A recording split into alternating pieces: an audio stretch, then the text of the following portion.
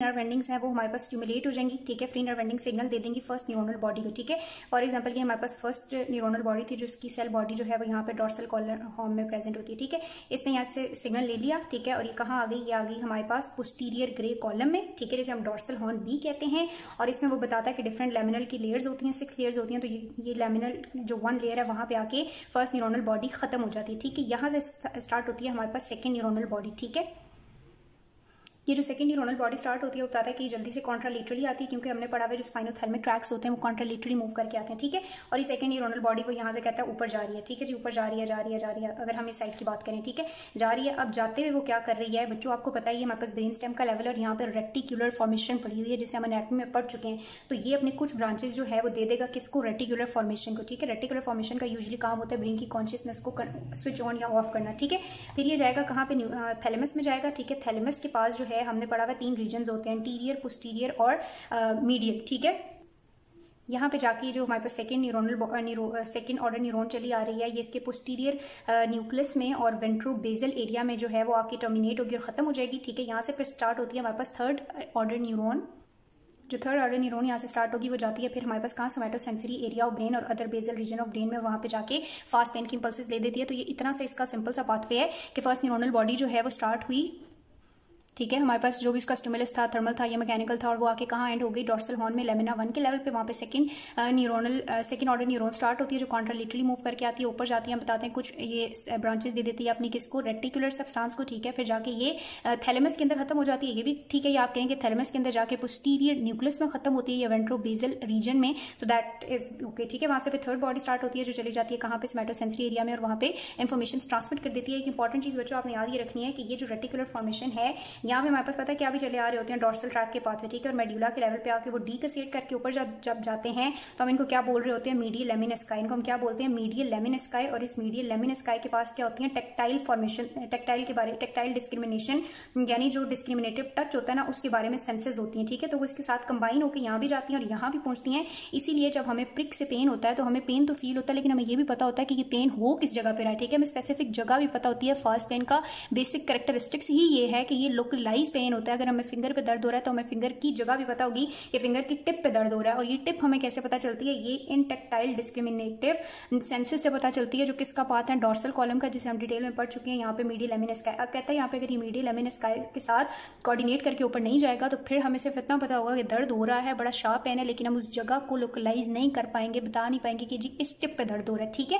तो ये हमारे पास इसका पाथवे जो बहुत आसान है। एक इंपॉर्टेंट चीज़ ने बताई हुई है कि यहाँ पे जब ये इनका कनेक्शन डेवलप हो रहा है तो यहाँ पे कौन सा ऐसा केमिकल है जो रिलीज़ होता है और यहाँ पे कनेक्शन डेवलप हो रहा है। ये जो हमारे पास साइनैप्स डेवलप हुई है, यहाँ कौन सा केमिकल न्यूरो यूज़ हुआ है ट्रांस सिग्नल ट्रांसमिट करने के लिए? तो ग्लूटामेट यूज़ हुआ है, जो बहुत ज़्यादा इंपॉर्टेंट एक्साइटेटरी न्यूरो है within the central nervous system ये आपने याद रखना है। अब दूसरा बात फिर ड्रॉ करते हैं जो अच्छा अब हमने स्लो फाइबर्स ड्रॉ करने जिन्हें स्पाइनो स्पाइनोथर्मिक पाथ पे कहते हैं। इसके ट्रैक को ठीक है सी फाइबर्स होंगे जो स्लो पेन के इंपल्स लेके जाएँगे। स्टिमुलस क्या हो सकता है? मैकेनिकल थर्मल और केमिकल मोस्टली केमिकल होता है। टिश्यू डिस्ट्रक्शन के साथ डील करते हैं और जितने भी केमिकल रिलीज़ होते हैं, वो हमें देख चुके हैं। सबसे इंपॉर्टेंट जो है, जो कॉज करता है नर्व रनिंग की स्टिमुलेशन करता है, वो ब्रेडिकाइनिन पोटाशियम आइन के लेवल्स और उसके अलावा हमारे पास प्रोडियोलाइटिक एंजाइम है, ठीक है? फॉर एग्जांपल इन सबने स्टिमुलस दे दिया फ़र्स्ट न्यूरोनल बॉडी जो है वो इंपल्स लेके आगे कहाँ पे? पोस्टीरियर ग्रे कॉलम में। जैसे हमने फ़र्स्ट वालों की बात की है कि यहाँ पे डिफरेंट लेयर्स होती हैं तो वो फ़र्स्ट लेमिना तक जाती है तो इसका आपने याद रखना है कि ये लेमिना टू एंड थ्री के लेवल तक जाती है, जिसे हम सब्सटेंशिया जेलेटिनोजा न्यूक्लियस का लेवल भी कहते हैं, ठीक है? यहाँ पे फ़र्स्ट जो है वो बॉडी खत्म हो जाती है, ठीक है? अब दूसरी, वहाँ पे हमने देखा था कि जो सेकंड वाली सेकंड ऑर्डर न्यूरोन स्टार्ट हो रही थी, वो डायरेक्ट यहाँ से ऊपर जा रही थी, लेकिन यहाँ पे वो कहता है ये थोड़ी स्लो होती है, ठीक है?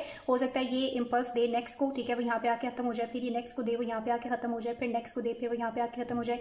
यानी ये सारी यहीं पे हो रही होती हैं। फिर यहाँ से एक जो है वो स्टार्ट होती है, जो इस पूरे इंटीरियर फीचर को फॉर एग्ज़ाम्पल ये छोटी छोटी अगर हम ड्रॉ करें ऊपर है और फिर हमारे पास वो एक आती है, जो इसको क्रॉस करती है एंड देन ऊपर जाती है, ठीक है? तो ये यहाँ पे होता है। उसमें हमारे पास एक ने दूसरी को दिया था, दूसरी पास लेके चली गई थी, लेकिन यहाँ पे काफ़ी ज़्यादा बीच में डिफरेंट जो है वो यूज़ हो रही हैं ऑर्डर न्यूरोन्स और इनको हम कहते हैं रिलेइंग सेंटर या रिलेइंग फ़ंक्शन ठीक है? इसका रिलेइंग फ़ंक्शन ये होता है, यहाँ पे डिफरेंट ऑर्डर न्यूरोन्स के थ्रू ट्रांसमिट होकर स्लो पेन इंपल्सेस यहाँ तक आती हैं, इसीलिए स्लो पेन इंपल्सेस कहते हैं, क्योंकि इनको यहाँ से यहाँ आने में बड़ा टाइम लग जाता है तो ऊपर जाना तो दूर की बात, ठीक हो गया? अब खैर, जब ये ऊपर जा रहा होता है तो इसकी इंपॉर्टेंट चीज़ आपने याद रखनी है कि इसकी जो टर्मिनेशन है ना, वो बहुत डिफरेंट है as compared to fast fibres ठीक है? फास्ट फाइबर्स हमने कहा था कि वो रेटिकुलर को देते हैं कुछ ब्रांचेस उसके बाद वो न्यूक्लियस से थर्ड ऑर्डर न्यूरोन स्टार्ट होती है और सेरिबल कॉटेक्स तक चली जाती है, लेकिन इसमें ऐसा नहीं होता, इसकी टर्मिनेशन बस यहीं पर हो जाती है यूँ ऐसे होती है कि कुछ फाइबर फाइबर्स जो है वो मिल जाते हैं, किसको? रेटिकुलर फॉर्मेशन को। ठीक हो गया।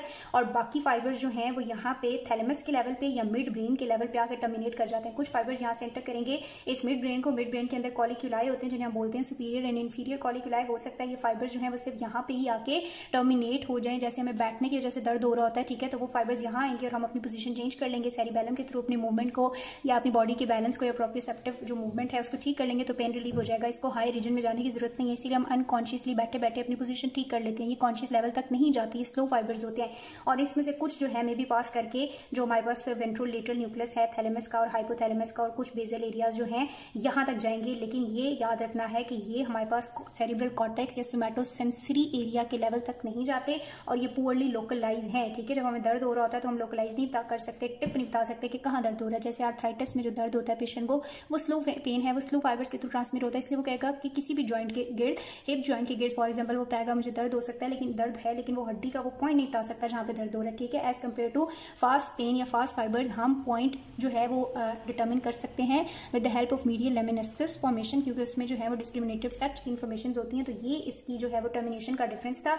एक चीज़ यहाँ पे, ये यहाँ पे हमने कहा था, यहाँ पे कौन सा न्यूरो ट्रांसमीटर साइनैप्स करा रहा था? ग्लूटामेट ठीक है? यहाँ पे ग्लूटामेट भी रिलीज़ होता है और सब्सटेंस पी भी ग्लूटामेट जो है वो बहुत जल्दी अपना फ़ंक्शन परफॉर्म करता है और जो है वो उसका ख़त्म हो जाता है असर लेकिन जो सब्सटेंस पी होता है ना, वो काफ़ी ज़्यादा देर के लिए अपना एक्शन परफॉर्म करता है और इसको कंटिन्यूसली जो है वो क्या करता रहता है?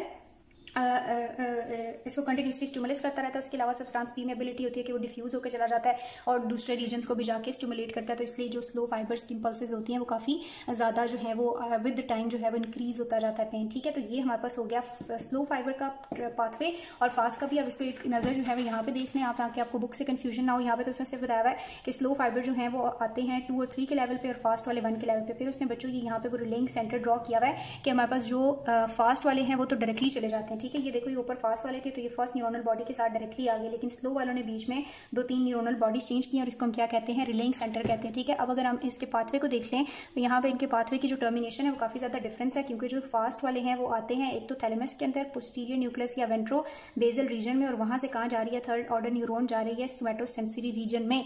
जबकि इसकी अगर बात करें तो ये कुछ जो है, वो अपने दे देता है इसकी तरह ही कुछ अपने फाइबर्स देता है रेटिकुलर फॉर्मेशन को, कुछ जो है मीजन सेफेलोन को, और बहुत कम जो है वो हमारे पास इंट्रोलेमिनर या ventro lateral nuclei of thalamus and hypothalamus तक जाते हैं, लेकिन सेरिब्रल कॉटेक्स तक ये कभी भी नहीं जाते। यहीं पे स्लो पेन टर्मिनेट कर जाता है तो ये इनका बेसिक पाथवेज का डिफरेंस था। और फाइबर्स का, और जितनी भी हमने इनकी स्पीड वगैरह देखी है तो इनको डिफरेंस को आप एक जगह पर लिख लें, क्योंकि काफ़ी इंपॉर्टेंट है। देन वैसे एक ज़रा से उसने बात की है कि रेटिकुलर फॉर्मेशन में सिग्नल्स हम दे रहे हैं, दोनों तरफ़ से इंपल्सेस आ रही हैं, इसका क्या काम है, ठीक है? तो बताता है कि अगर हम सेरिब्रल कॉटेक्स बंदे का रिमूव भी कर देंगे तो भी पेन प्रिसेप्शन रुकेगी नहीं, उसको फिर भी पेन फील होगा। तो पेन क्यों फील होता है? इसी रेटिकुलर फॉर्मेशन के थ्रू हो रहा होता है, इसमें पेन प्रिसेप्शन या पेन को रिसीव करने की एबिलिटी मौजूद है। इसके अलावा ये ब्रेन की कॉन्शियसनेस को कंट्रोल करता है, ठीक है? इसके बाद बताता है कि हमारे पास अगर हमें सर्जिकल इंटरप्शन हम पेन पाथवेज की किस तरह से कर सकते हैं तो अगर किसी बंदे को ट्यूमर की वजह से बहुत स्वेयर पेन है और उसका पेन जो है वो रोकना ज़रूरी है तो हम क्या करते हैं? कॉन्डक्टमी करते हैं, यानी जो पेन पाथवेज है उनको कट कर देते हैं, ठीक है अगर पेन बॉडी के लोअर रीजन में है तो यूजली जो कंडक्टमी परफॉर्म की जाती है, यानी जो पाथवे काटे जाते हैं, वो थोरेसिक रीजन में कट किया जाता है, वो पेन रिसीविंग पाथवे ठीक है?